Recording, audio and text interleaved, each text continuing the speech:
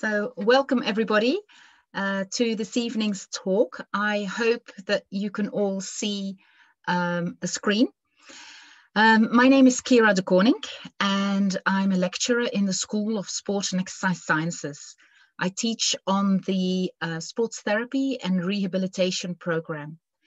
My research is around pain and movement and tonight I'd like to talk to you how pain is strange and um, towards the end of the talk, I would like to explain to you in a little bit more detail on how we use this new understanding of pain with our students. And so how we train our sports therapists and our sports rehabilitators to, um, to treat people in chronic pain. So pain is really like an alarm clock. It lets us know when something is wrong. So it's a very sensible and a very clever um, response to danger, to damage, to injuries. We hurt ourselves as a response that gets sent to the brain. The brain response sends a very fast message to the muscles. They contract and we either start running or we withdraw or we somehow move away from, um, from danger or um, our, our, our, our body responds in a different way and we produce lots of fluid which which creates swelling which then again prevents movement all all to protect ourselves. So it's it's it's a warning system and it's a very useful warning system when there is actually damage. So really the pain is our brain telling us that something is dangerous or something is wrong like hitting hitting your your your finger accidentally with a hammer you will you know you will you will respond really really quickly. So in the physiology literature it's very this is a very um, common image whereby kind of a nail is driven into the skin. I'm not quite sure how often that happens in in real life but this is just to symbolize that there is an injury there is damage either um, uh, through heat, through pain, through pressure, and, and anything, anything that causes that causes this alarm system to kick off. It will send a message through these nerves to the spinal cord. And this is again where we then end up. This message can be sent very, uh, very quickly in very through very fast fibers or it can be sent quite slowly. And that's when you have more of the sensation of a slow burning pain or more, more of an ache. And that gets sent through different, um, through different nerves. What happens then is these nerves end up in your spinal cord. So we're still not aware that we still haven't registered that pain. We register the pain when these messages right here get sent to um, um, to the spinal cord and they get sent up to the brain. And then that's when we when we register register that pain. These messages then get sent back down again right into the muscles where either like i said before we contract a muscle we withdraw or we um, we, uh, um, we we respond in a way.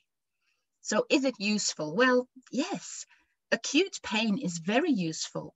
So when there is actually damage or when there is a danger, that pain is, is a very important alarm bell. It protects us from danger and it protects the tissues also during healing and repair. So it plays an important role. Now, there is another side to pain, and that's chronic, persistent, or recurrent pain. And that's a different type of pain. It continues a long time after the tissues have actually healed. It can worsen over time and it can rewrite the central nervous system.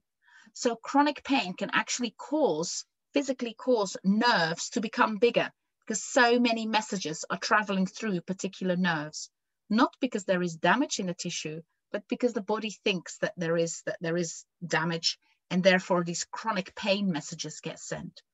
So it can rewrite the central nervous system. It can cause changes in the brain and in the spinal cord.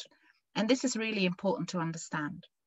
Now, there are two different types of chronic pain which are related to the tissues and which are different. And it's important that I point this out to you so that you, um, when I'm talking about chronic pain, I'm not talking about pain related to cancer. Now, pain related to cancer is different because it often only emerges when tumors grow and continuously compress surrounding structures. These structures can often be nerves. So it's actually a failure of our alarm system that cancer cells can grow silently for such a long time. So that's when our alarm system is not working very well. Another type of ongoing pain is neuropathic pain or neuralgia.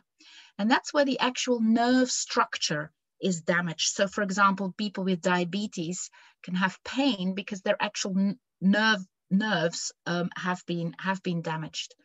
For example, chronic pain in conditions such as multiple sclerosis, which is again damage of the lining of the nerves. That um, that's pain caused by actual tissue damage. So we're not talking. I'm not talking about uh, cancer related pain. And I'm also not talking about neuralgia pain, such as pain related to diabetes or multiple sclerosis, those, those type of, of conditions. One example of, of, um, of chronic pain is phantom pain. And phantom limb pain is something that happens in amputees. So people who have had um, um, a limb or, or, part of their body um, removed. So 60 to 80% of people with amputations experience phantom pain. And that means that they're actually having pain in the limb, which is no longer there. So the brain is figuring out that something's not quite right.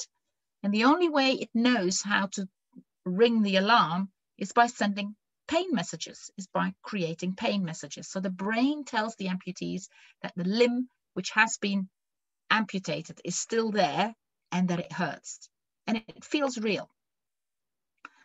So one treatment for um, phantom limb pain is mirror therapy. And this is a way of tricking the brain. So here you can see this um, gentleman right here has um, a lower limb amputation above the knee and it's a, it's a single it's a single leg amputation. So he is looking in the mirror. So when he looks in the mirror, it looks as if he has two legs. His brain configures that and the, the, the information which is sent through, through, through his retina, through his eyes, into the brain, tell him that actually there is nothing wrong because we can see um, a pair of legs. And that trick, that visual stimulus to the brain reduces or completely gets rid of phantom limb pain. And here is an example of a young man with a hand um, amputation. He is looking in the mirror and he his brain figures out that actually he, he does have two hands. So these, these treatments are being developed in order to reduce pain and that's done through a pathway through the brain. So we are giving different messages to the brain telling the brain that things are safe, that both limbs are there, even though they're not, and that therefore the brain can stop sending those pain messages. And it does. This is an image that I just want to want you to look at for a few moments. I hope it's working through your screen. Don't need to look for anything hidden in it. Sometimes it helps if you look away and then look at the image again. Some of you may not notice anything and that's absolutely fine. But some of you, even if it is for a short period of time, may notice some movement. This is not a video. This is a still picture. What has happened again is that our brain is being tricked. This is a very complex pattern. And again, lots of information is hitting the retina of our eyes. These messages get sent to the cortex in our brain and needs to make sense of it. Stripy patterns like that our brain interprets them as, as, as, as a movement. So in uh, research where patients or participants have been shown these images, the area in the brain which is related to movement becomes active. So when those areas in the brain related to movement are dampened, um, uh, we, we, we don't see the movements anymore. So this is just to show again that our brain registers things and tries to make sense of things because that's how evolutionary, that's, that's how we are wired. And again, chronic pain can be a little bit like an optical illusion. So if we can change the imagery and if we can change the way that our brain is interpreting cues from the outside world, we can start to think about treating chronic pain. So why does our brain make these mistakes? Well, modern pain science recognizes that chronic pain is really complex. There's not just a single center. There's not a single pain center in the brain the dotted are all all over all over the brain pain is not just something that registers in the brain it's not a fixed signal and it's not related to a specific amount of tissue damage so on the whole yes we can say that a very large injury is going to cause a lot of pain but if any of you have ever had a paper cut or have had any any damage to your to your tibia to your shin bone it hurts a lot even though there's only a very, you know, a relatively small, small amount of damage. So the amount of pain does not always relate to the, the, the severity of the injury. It can, but it doesn't have to. And also we might not be able to see the pain on medical imaging, such as MRI or X-ray, but the pain is always real to the person. So people with um, um, so-called slipped discs or people with uh, damaged cartilage, these are often found on MRI scans and x-rays, but very often those people do not have pain. And the reverse is true as well, is that people with lower back pain or people with chronic knee pain may not, they may, but they may not have any tissue damage. So chronic pain is so much more than just signals of danger there are some examples here of those different centers, those different areas in the brain. So really a more, a longer definition of pain is that it's a multiple system output con constructed by specific neurosignatures. So those are those areas within the brain which are related and which send pain, uh, pain messages to the rest of the body. And the neurosignature is constructed whenever the brain concludes that body tissues are in danger and action is required. And that could be because of a memory, because of an old injury, or because of a pattern which has been established over a long period of time, signaling that certain things are dangerous and therefore causing pain, even though the danger isn't there and even though the tissues are not damaged. So think of chronic pain as an output. It's the result of processing mechanism in your nervous system and in your brain. It doesn't mean that um, um, it's it's it's all made up in in people's minds, but it does mean that it's very unique to the person experiencing the pain. So when we train students to become sports rehabilitators, we train them by actually teaching them the ability to recognize and to acknowledge that the chronic pain is real to the person and that there are things that we can do to help people with chronic pain. Again, there's no single pain center in the brain. And pain involves many different elements. It's not just the nervous system. It involves immune cells, memories, emotions, and a whole host of chemicals called neurotransmitters. There's a whole soup of chemicals in our body which um, are involved in that transmission of, of chronic pain, that experience of chronic pain. There have been over the years lots of different attempts at treating chronic pain. So, for example, in the 1950s, surgically removing nerves did not resolve chronic pain. So, nerve grafts to replace damaged median nerves in your wrist patients resulted in improved hand control, so they could use their hands much better, but the wrist pain uh, continued. So actually surgically removing the nerves did not result in, in, in a reduction or a removal of the pain. So chronic pain issues are not necessarily in the tissues. Chronic pain is all about a central nervous system sensitization. And what we mean by that is that everything just becomes a little bit more sensitive to any cues, anything similar that may have caused damage in the past would then trigger chronic pain long time after the tissues have healed. So really chronic pain, if you can think of it as, as, a, as, a, as, as a volume, we turn up the volume on our alarm system, but it's very, very difficult to turn that volume down. Once those chronic pain messages are being triggered, it's actually really difficult for, for, it, for it to be turned down. And after a while, people do not tend to respond well to, to medication. And bad news travels fast, not just on social media, it does so in our body as well. So neurotransmitters, these chemicals which are involved in, in, in, in pain messaging, they can quickly affect other cells. So they go and chat to each other and they talk to each other. And these pain messages get spread all throughout our nervous system. So tissues which may not have been involved with any pain whatsoever can then suddenly become sensitized and also start sending pain messages. So people can experience um, um, uh, digestive pain, they can experience um, um, um, headaches, they can experience lower back pain, shoulder pain, knee pain, foot pain, and so on and so forth.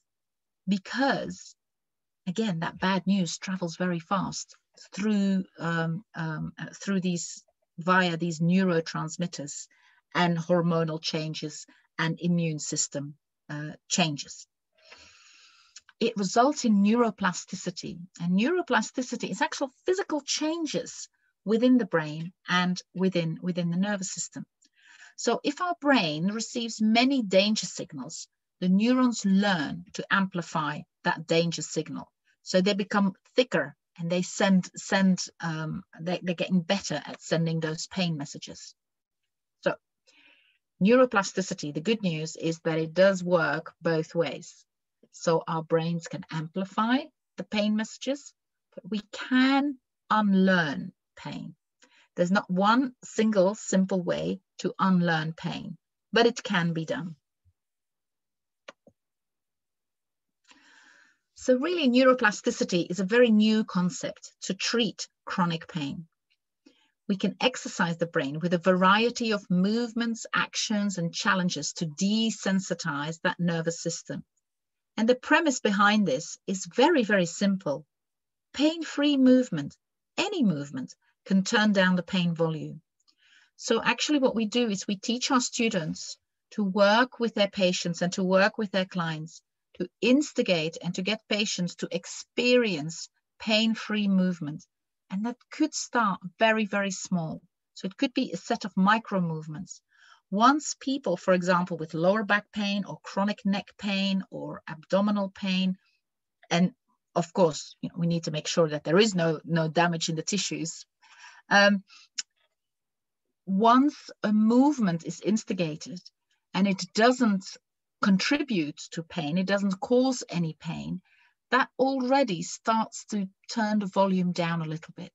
We then teach our students to build on these movement patterns until we have a full, you know, full, full range of movement of all the joints, full activity and a full healthy, um, um, uh, you know, physically active life.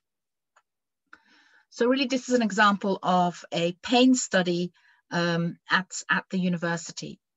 And really, what we're doing here is we're finding different ways to move or exercise without fear. Fear is an incredibly important um, instigator of, of pain. So, retraining the brain and retraining the body to produce movements without fear. So very simple movements like lifting your leg or turning or very, very controlled, very um, um, small movements in many ways. Once people start to experience these as pain-free, research has shown that that actually turns down that volume and reverses that neuroplasticity. Visualizing pain-free movement can activate the brain. So lots of research is now being done through virtual reality, where people can visualize themselves producing pain-free movements, walking down the road, getting up from a chair, walking down the stairs, taking part in an exercise class, pain-free. And that again desensitizes the central nervous system and turns down that pain volume. So each movement that a chronic pain patient makes and experiences as being safe, that will help to retrain the brain. So the premise itself is very simple the execution is a little bit more complex. So really, we still don't know which particular exercise programs are best, but the research shows us that almost everything we try is getting chronic patients moving and getting them to, to cross that, that, that, that fear and pain barrier. It's important that all the exercise programs contain education.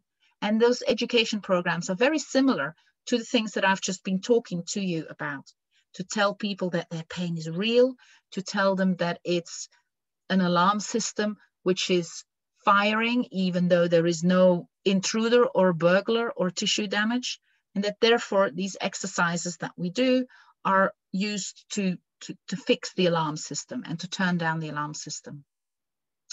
And that the participants have a strong message that they're not broken.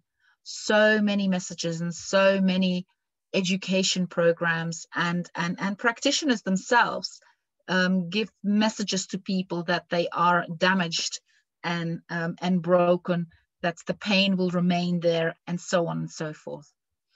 If you are interested in this topic, this is a very, very a brief comic book, which I strongly recommend. And it's also the book that uh, inspired me for the title of this talk. It's called Pain is Really Strange by Steve Haines and it tells you the story of chronic pain in a comic book. So it's a really useful, useful and quite fun way to read more about pain. So now I'm going to tell you a little bit more about the way that we teach our students and the way that we train students to, to, to work with chronic pain clients. This is not something that you would be doing in your first year, but this is something that we do with students. We work with students in their in their final year but I thought it might be useful for you to sort of get a flavor of, of what it is, what, how it is that we marry research, our own practice, and, and the education aspect with, with our students. So quite often, patients or clients will come and see a sports therapist or a sports rehabilitator, and they'll just say, I don't care what you do, just get rid of my pain. Yeah, there you are. Just do whatever it is you need to do you need to get rid of it. Now, you need to be really honest in that we're not magicians. We can't just magic that pain away. We need to explain to people that it takes time to reduce persistent pain, particularly if that pain has been there for a very long time. We would then explore with that client what are the circumstances of their pain flare up when does this happen? Does this happen at particular times of the day? Does it happen after they've been sitting down for a long time? Does it happen after long car rides? Does it happen after particular movement patterns or lack of movement patterns? So actually building up a pain diary or building up a pain pattern is very important because then we can look at some of the movement patterns and some of the behaviors that people um, that people have developed, which may trigger the brain in sounding the alarm bell. And that's really what we need to what we need to unravel. Now, some treatments may offer immediate pain relief, allowing clients to then engage in a more positive physical activity behavior. So there are forms of electrotherapy, there are forms of different types of, of, of, of, of massage and taping, and there are all kinds of treatments which you learn how, um, how to apply and how to use those and when to use those can reduce pain immediately, which then allows people that temporary relief of pain and allows people to produce pain-free movements and then again retrains the brain and turns down that alarm bell, that pain volume. A very typical response or a very typical sort of pronouncement of, of, of clients is, oh, I had a disc bulge or I've had a damaged disc 10 years ago, because this is what, what they've been told. Now, if you use the analogy that if you've had an ankle sprain or, or, a, or a shoulder uh, uh, injury 10 years ago, it's still painful and it's it's it's it's it's reducing your your activity. Now that ankle sprain from 10 years ago your ligaments by now will have healed. Very similar to the disc bulge or, or the damaged disc. Whether the disc was actually damaged or not it doesn't really matter. What's important is that people believe that this is the case. And again by explaining to people that the tissues have healed but the pain messages are still getting through to their brain and that's what we need to change. Another very common question is clients ask, well, will this ever stop? Will my pain ever go away? Now, a large percentage of the world's population actually exp have experienced pain only last week. Yeah, so this is this is again what epidemiological studies show us. Pain is a very common experience, but we can work on improving the quality of people's lives so that pain has less of an impact on their lives. So we would never promise somebody that we can guarantee to get rid of their pain, but by working together and by unraveling um, um, particular particular habits that we can instill pain-free movements, produce pain-free movements, which unlearns those those pain messages. So these are some useful approaches for rehabilitation therapists working with chronic pain. It's about preparing with intention. So, are you prepared for a meaningful interaction? Really instilling that trust between you and, and your client. And that's very, very important. To really listen to people and not to make any assumptions and to believe people. So, what does your, you know, what, what is your client telling you when they're telling you their story? And you know try try not to interrupt try just to listen to what it is that they're that they're telling you. And then agreeing on what matters most. So you will not be able to treat everything at the same time. But actually asking people what are your goals? What is it that you would like to do? Would they would like would they like to be able to go on a holiday for example pain free? Would they like to take up tennis? Would they like to play with their grandchildren or their children? Would they like, there are all kinds of goals. So rather than fixing ourselves on improving a certain, a certain range of movement within the joint, we can really think about people's goals and what they would like to achieve and how we can work together towards achieving those goals. Really connecting with somebody's story and um, how can you, as a therapist, contribute to that um, to that journey. And then also what can you learn from their emotions? The emotional response to pain is incredibly important. And we are not psychotherapists. We do not train our students to be psychotherapists but the psychology of pain is an incredibly important um, aspect of pain which uh, which therapists need to be aware of so really these were examples of a very motivational approach in persistent pain management. It's building resilience and it's building confidence and trust in clients with, with persistent pain. So I think giving, giving patients a perspective and giving them a goal that they, that they can achieve is incredibly important. Try using pain flare-ups as a learning tool. So really together analyzing with your client what was different, why did this pain occur, um, was it a spontaneous flare up, which can happen, and what can I do differently? So how can I plan things differently so that I'm not overwhelmed by this by this pain pain flare up? Really, the message is that pain doesn't have to control you versus I'm fighting the pain or I don't want to show weakness. These are very, very common um, um, thought processes, particularly when working with athletes, but also working with the general population, is that I must overcome this pain and I must be, I must either ignore it or I must fight it. Now, even by fighting it, it still has some control over people. So making that decision that pain does not have to control you, that you can work through it and that you can work with it is an incredibly important step. And it changes people's perception and their relationship to their pain. So, an acceptance and commitment approach is allowing the pain to be there rather than fighting it. Now, this is an approach which is only suitable for low to medium level pain. If the pain is very severe, this is not really going to work. But don't feel that you need to react to that pain. So just let it be there, let it sit. The brain will then start to downturn the volume because there is no more response.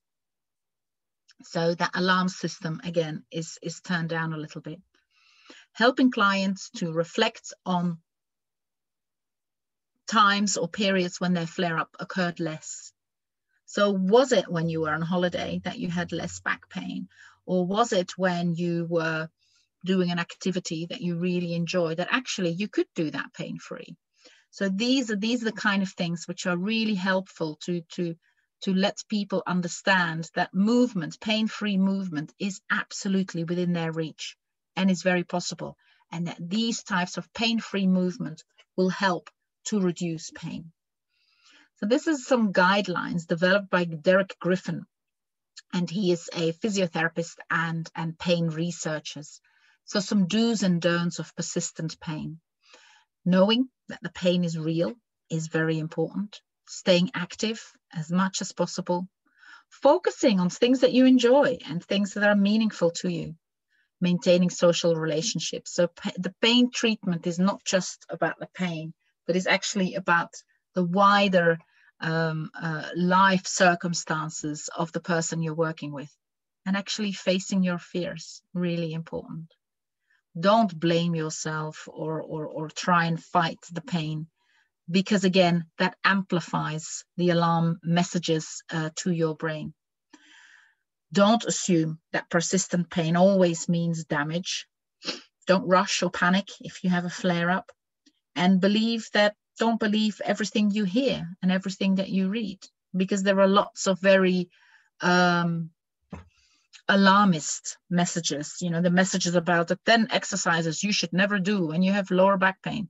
These are persistent messages in in in the media and on social media and that's not what the research tells us. Yeah there are no 10 magic exercises for lower back pain. There are some movements which are very personal to, to, to the person, which the person can do without causing pain. And that those are their 10 best exercises for their lower back pain. So it's very individual. And then don't rely on scans to tell you the whole story. This is very important that we can't really rely on medical imaging. As I said before, some people with damage on their medical images don't have any pain. And then some people with pain don't have any damage. So that's very, very important. So some more tips and hints for the management of persistent pain. Be careful of guaranteeing pain relief. That can lead to overtreatment. So don't promise them the moon on a stick. Help people to set very realistic goals. Avoid treating too many things at the same time. So focus on one or two goals and set very realistic goals. Avoid overloading clients with all the biopsychosocial pain in education information. That biopsychosocial education is basically what, what this talk has been has been based on. So there's no need to give that to people all at the same time when you're treating them. A really important thing is for any therapist to believe what their client tells them and to validate the totality of the pain experience. It's incredibly important. Once people feel heard, they will start to trust their therapist. These are some more useful informations for patients and therapists on pain education. Butler published a book called Explain Pain, which is really useful around pain education.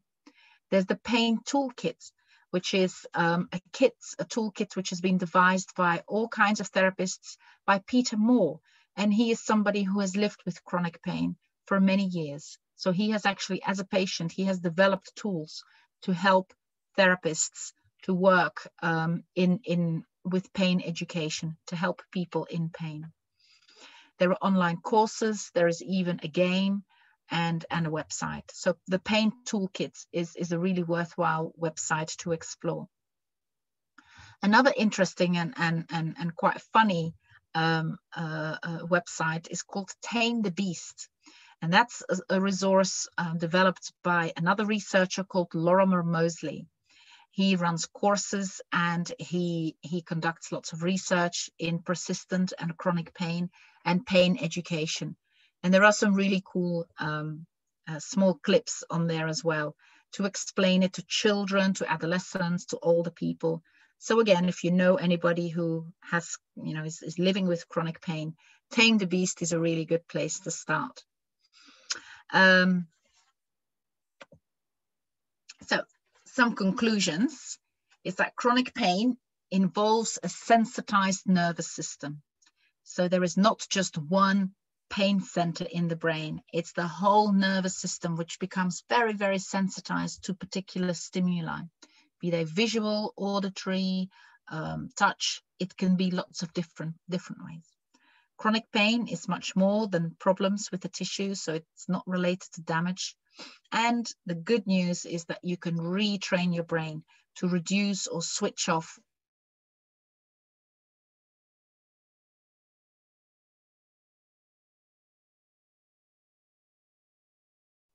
So thank you very much for your attention. Um, I am now.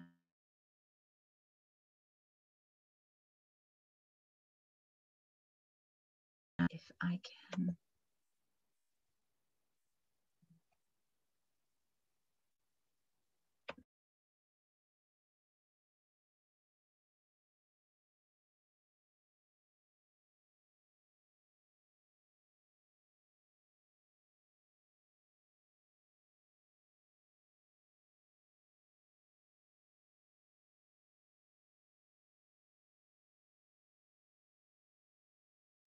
It was of some interest. And um, yeah this is how we how we talk to our students about about chronic pain. Sports therapists and, and sports rehabilitators is very important that they're comfortable and that they're knowledgeable about these about these issues which can affect elite athletes. It can affect older people. It can affect younger people. It can affect it doesn't it doesn't pain doesn't discriminate. It can affect all of us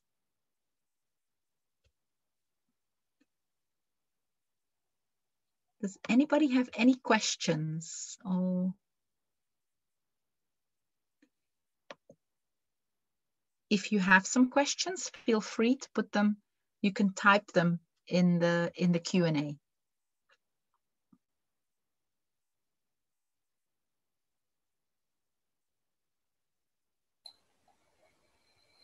Hi, Kyra. Could I could I ask you? Hi, Steve. Um, I've not heard that talk before, so um, I'm kind of very interested in what you're saying, saying there. And I, I, guess you know, modern medicine is. You're sounding like a Dalek. Am I? Oh, I'm sorry. Can you can you hear me okay there? You're sounding like a Dalek. Right. Um, sort of. Okay. Um, could you just maybe um, modern medicine is all about sort of pain relief medication, how does that kind of fit into this idea of sort of embracing pain and kind of, you know, maybe taking a slightly different approach to to you know to managing chronic pain? Could you could you maybe explain a little bit about how that might fit in with this uh, with this? Sorry, sorry, Steve. I didn't I didn't hear the main bit of your question because I glitched out and oh, I'm, okay. I'm back in again. Okay, can you hear me okay now? Can you hear me? Yes. You can. Good. Okay. I don't know whether the problem is at my end or your or your end. Um, yeah, just you, you think about you know you're sort of suggesting that you know it's about embracing the pain um, and sort of learning to live with it. No, I... you can't hear me. Okay. can you hear me, Caris? I can hear you, yeah. You can. I think that there may be a problem with Kyra's internet because she keeps freezing. Yeah, maybe. Um, I think the problem's that end. Um, sorry um, about that. So, Kira, I, I, think the problem's at your end, the internet, because you keep freezing. But anyway, don't worry. Um, I'll, I'll pop it in the chat function, my question. Um, if okay. You do, if you do have any questions, anybody, please use the Q&A. Um, Caris, perhaps you could tell us a little bit about, you know, because you've done modules around sports injuries and you're on the um, sports therapy course. Uh, sports health. Sports and exercise and health course. Um, just tell us a little bit about kind of what you've learned about, you know, maybe injury management, that sort of thing. Yeah. Um, well, in second year, I took sports injuries and sports and remedial massage. I learnt so much from those two modules. They were they were fantastic. I um in sports injuries you learn pretty much about the whole body and in first year you know your anatomy and things like that, but you get a deeper understanding of anatomy and how the body works studying the massage and the injuries modules. And in massage, it just teaches you how to apply all of that knowledge as well about the body. And there's been so many times one of my family members have had a pain and because we've learned all about it in massage and how to treat it and rehab it it's been really rewarding to be able to say oh i know how to relieve that pain for you and things like that. So it's been really helpful and it's they've those two modules have been one of the two best modules i've chosen. So they're really great. Great and they're option modules on the program that you can do on the health program. Great. Okay Great. I just saw your, your question, Steve. It's a yeah. great question. How does pain medication fit into this concept of embracing pain and learning to recognize and live with it? Um, because of course, most of the of the of the people that we would see would be on some kind of medication. It's very important that we do not interfere with the pain medication. So we're not doctors. We do not prescribe medication what we do is we use movements and that that's that's that's our medicine. So this approach can coexist with people on gabapentin people on very very you know heavy pain medication. We also teach our students about pain medication so that they learn to recognize that certain types of medication are opioids certain types of the different groups of pain medication which have a different effect on the body and work work on the can help people to engage with movement with exercise. So pain medication has actually got a very important role to play.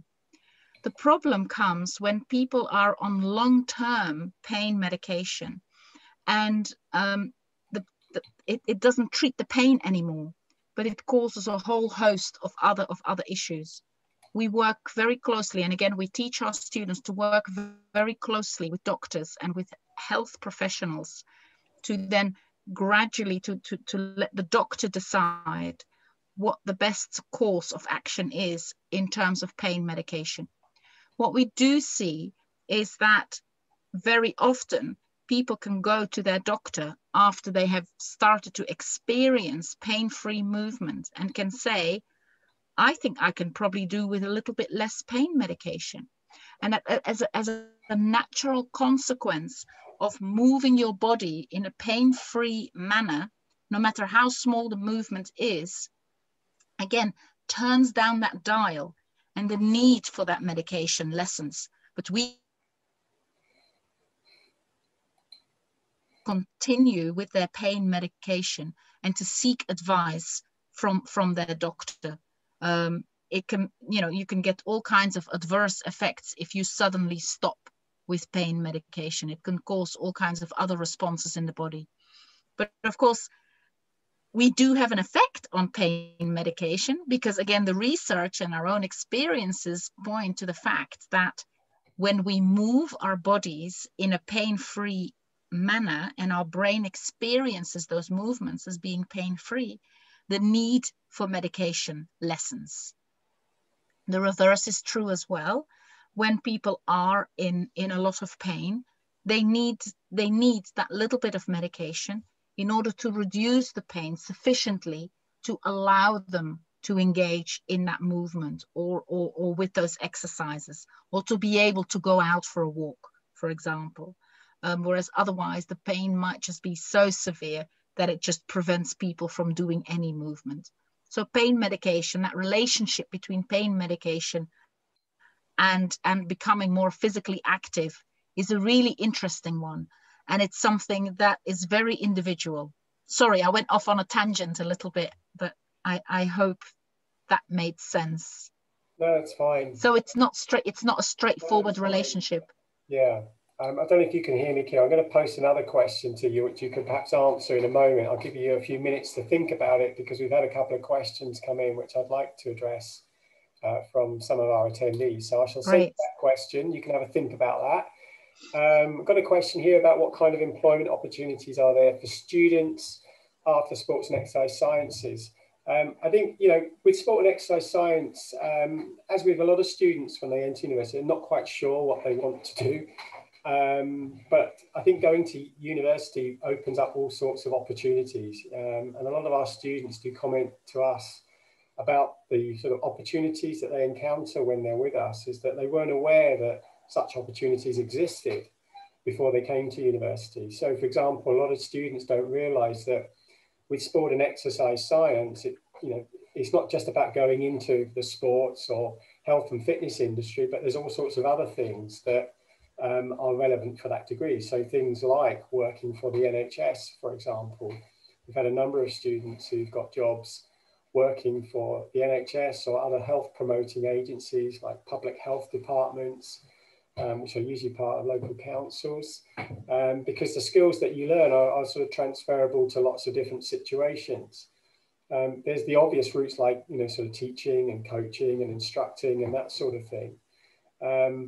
But there's a you know sort of a diverse range of things. And you know even those who do sport and exercise science we sometimes find them working in a more business related environment. Um, and obviously these kind of industries tend to tend to have um, you know tend to be a little bit better paid as well. Um, and things like teaching is a fairly secure um, occupation.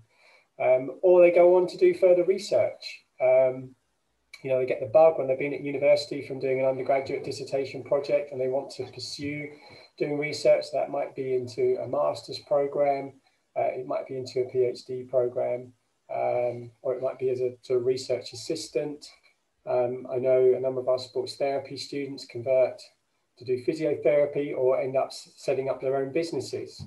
Um, so you've got that whole sort of entrepreneurship um, aspect, which you know, which that course can can can open up those sorts of opportunities to you. So you know, um, sky's the limit really. And I think, you know, university gives you that opportunity to explore.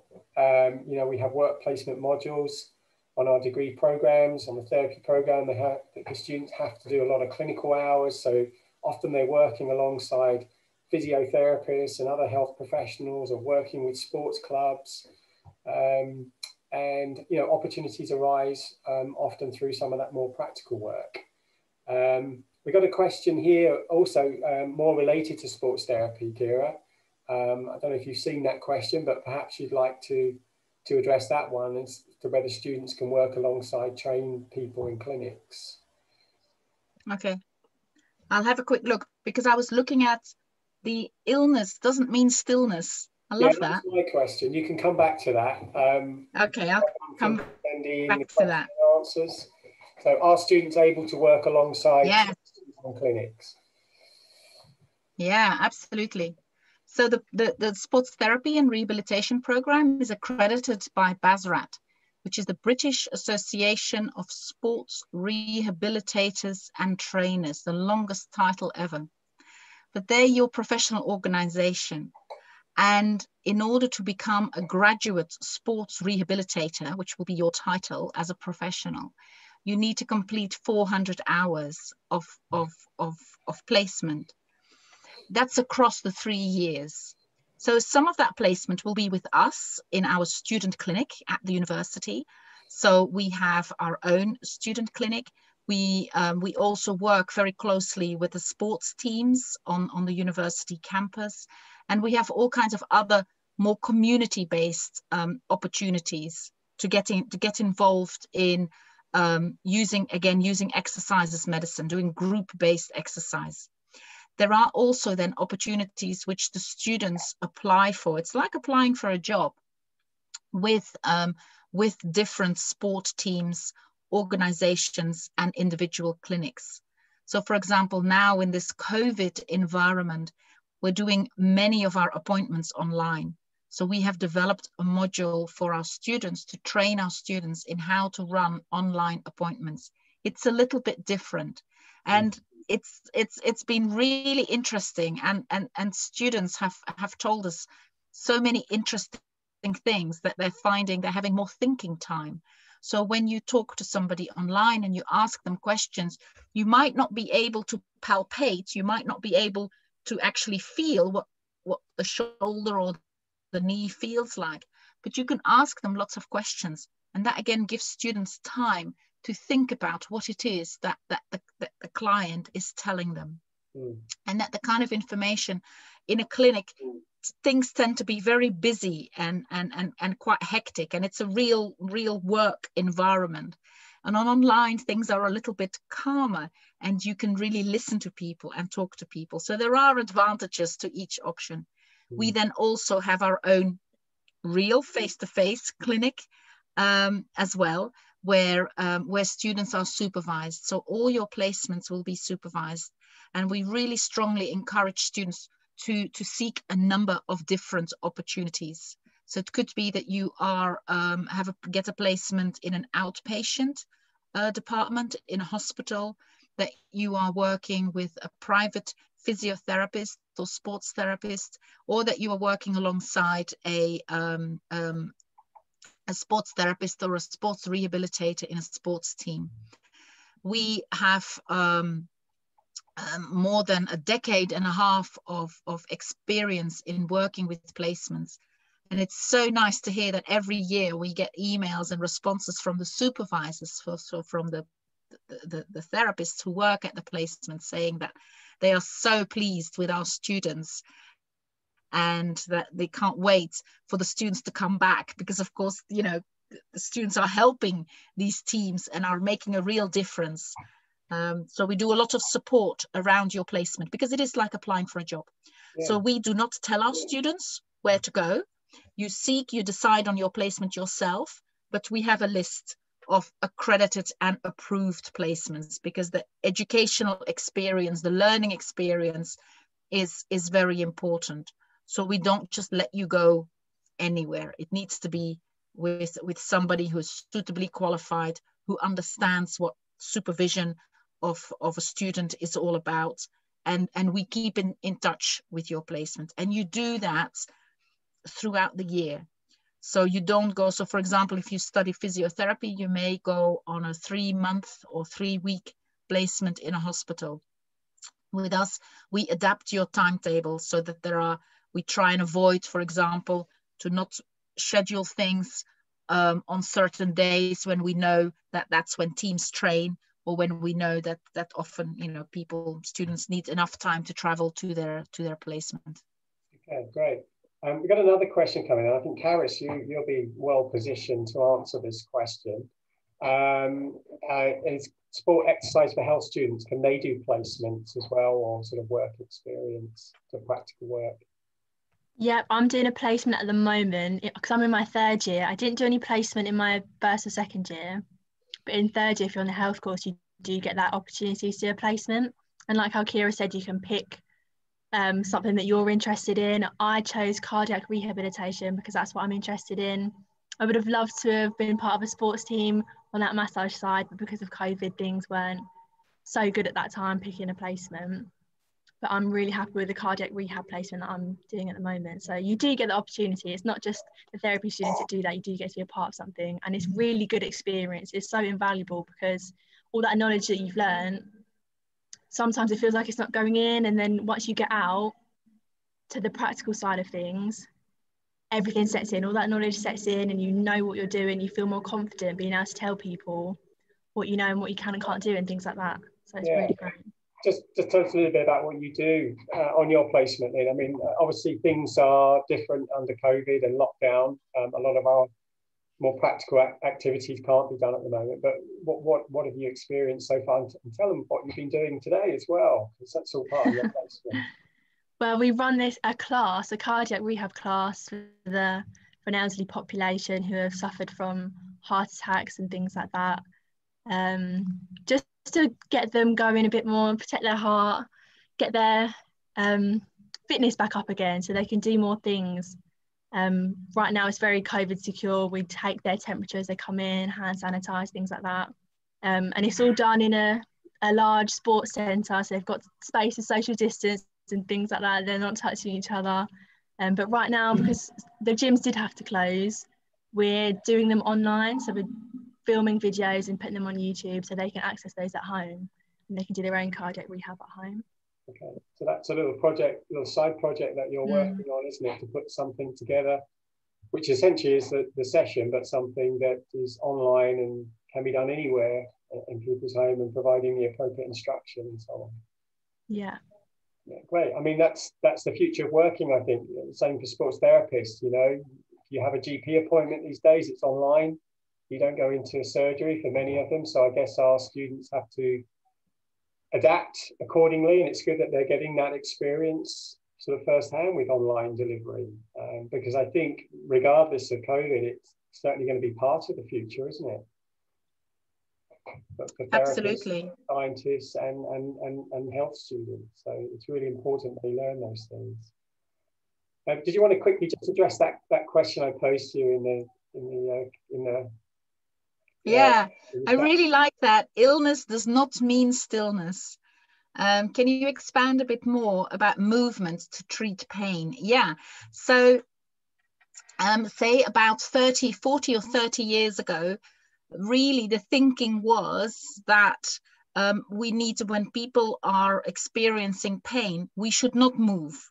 So lower back pain in those days was often called something like lumbago, and people were told to lie on a hard board or to lie on the floor, to definitely not move, and so on.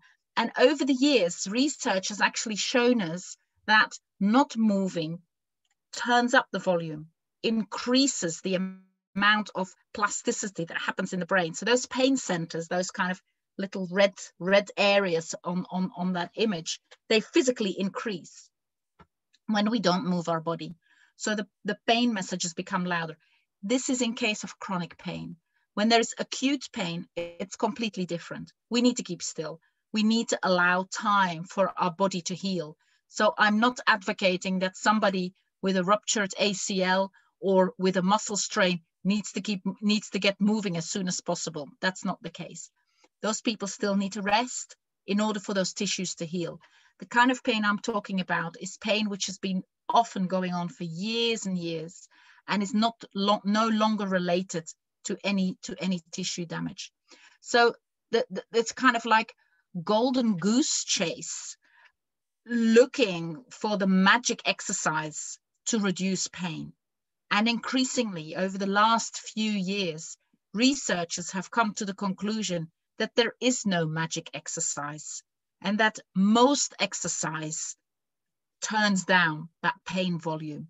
Any type of pain free movement reduces fear, instills trust, and encourages people to produce more and further pain free movement. So it's almost like using movement as as as changing behavior and as allowing people to experience that movement is not dangerous and that movement can be pain free. We have to adapt. We might need to move slightly differently, maybe a little bit faster, maybe a little bit slower, maybe movement lying on the floor, maybe movement in the pool, maybe movement with different straps and different bands, maybe movement to music, maybe movement as part of a, of, of, of a community, of a team exercise. So there are lots of different ways and people have a very individual response to this.